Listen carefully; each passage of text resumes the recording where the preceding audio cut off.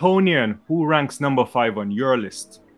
Hi, Dwaine. For my all time list, in the number five position, I have Evelyn Ashford. She has a personal record of 1076, which is awesome in the modern era of women sprinting. Consistently, she beat the East German. She breaks her old world record. She has two Olympic medals, and she's just 0.4 away from the world record eventually taken by FloJo. This is a hard thing to do, but I have a tie for fifth place. I have Veronica Campbell Brown and Merlene Ottey uh, in the number five position.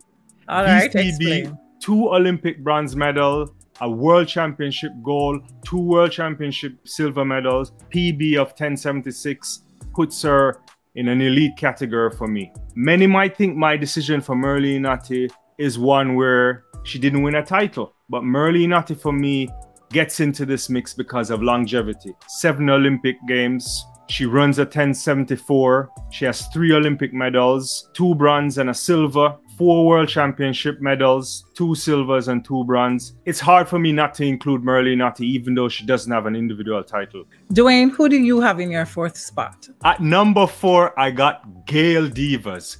Back to back in the Olympics 92 and 96, the second woman to ever do that. 1993 world champion, Pan Am goal in 87. She's 27th on the all time list with a personal best of 1082. But in fairness to Gail, 20 of those women would have competed after she retired or when she was in decline. Who do you have? Well, in my fourth spot, I have somebody that you would not have contemplated as a part of your list any at all, just because of the shadow that surrounds her. But for me, I cannot have a top five list of all time women in the 100 without including the great Marion Jones. Yes, you yes, must doing, be dreaming. Yes, doing. I know, I know, I know, I know. But for me, Marion has separated herself even prior to her furor with the law. So even though she ran 1065 at altitude, she has run 1070. Yes, we know she has four world championship medals, and her proxi- proximity to the world record places her 10 places away. For technique, only one other person for me has a better technique than Marion on my all time five list.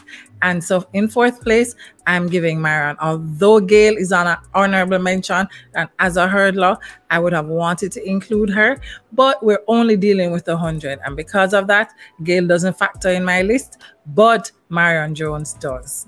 Who do you have in third place? Toni-Ann, this might be a big surprise, but I have Elaine Thompson Herah, the fourth woman to go back to back at the Olympics in the 100 meters, second fastest of all time, maybe the unofficial world record holder. But in the modern era, if you don't have any world championship medals and titles, I don't think you get anywhere close to the top two. In my third spot, I have Carmelita Jeter. Carmelita is consistent. She has six world championship finals, she has three Olympic finals, and she has four world championship medals. Also, when I look at her technique, Carmelita, we know is a technician. I would have just put her below Marion, but for me, because of consistency, I have Carmelita Jeter as my third ranked athlete. Tony, and you're throwing this list off. I don't even know how Jeter makes this list. I like Carmelita. Who is that number two for Tony and Doyle? Drum roll, please. And in second place, I already know where you would place her, but for me, she's my second place runner. In terms of technique, she's known as a pocket rocket, but Shelly's technique falls short. If she gets an excellent start, we know she's going to fade at the end. Her proximity to the world record, we know she's the third fastest athlete ever. She has four Olympic medals and four world championship medals. That therefore places her obviously in my top two. And I'm coming down at 1060, Shelly Ann Fraser Pryce is my second ranked athlete. Dwaine, I, I, I have to go home. I needed to take my glasses off for that one. I don't I don't know what I'm hearing. I am I, I am done. I mean, this is really not making sense to me today. Toni-Ann, number two for me is a is a woman that you had on your top list. You had her at number five, and it's Evelyn Ashford. It's a beautiful runner. You know, three goals and a silver medal at major games. Olympic gold in 84, comes back and gets a silver in 88 behind FloJo. She was fifth place in Montreal. She missed out in Moscow in 1980 because of the Cold War. But this was a woman that was consistently number one in the world over and over again. Lovely runner. She had some hamstring issues and injuries and so on, but and for me, her world record needed to last longer than the world record that we saw. So Evelyn Ashford for me, for all she's done for the sport as well, gets into the number two position. Dwaine, we've had some ups, we've had some downs, we had some disagreements. Who do you have in your first spot? Let me tell you something. you could have walked off the bed, rolled off the bed. It doesn't matter how you woke up this morning, but you needed to have had Shelly-Ann Fraser Pryce on top of the list. The most decorated 100 meter athlete ever, back to back at the Olympics, four world titles, more Olympic medals than anybody on the planet in the 100 meters. She needs SEAL Team 6 to guard those medals. Three Diamond League titles. Best start of all time, technique wise. And you don't have her on the number one spot. I am done.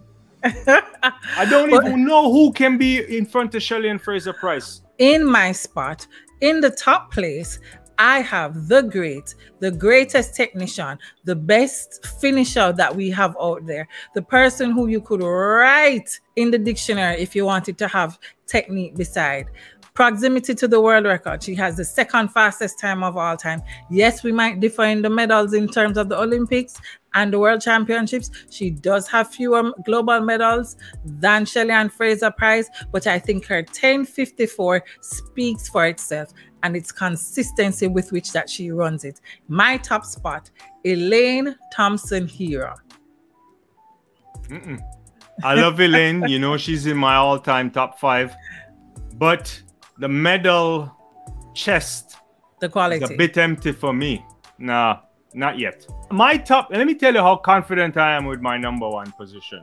That number one position cannot be overtaken until after the Paris Olympics. And only one person that could walk that over would be Elaine. So she needs to go Paris before I would give up that number one position. But she has had a shorter career and she has achieved so much in such a short time. And I think I cannot overlook 1054. I have nothing to do with Shelly. Yeah, yeah, but I'm talking about Elaine at the top spot. She has uh, all the goods for me. You're and... wrong today, Tony. You're wrong. Athlete well, and Fanatic think... Nation, tell her that she's wrong. If you agree with Dwaine or you think that my list is a better list, please leave us a little note below and to tell us what your thoughts are. And with that, thank you for joining us on The Athlete and the Fanatic. Bye-bye. Bye.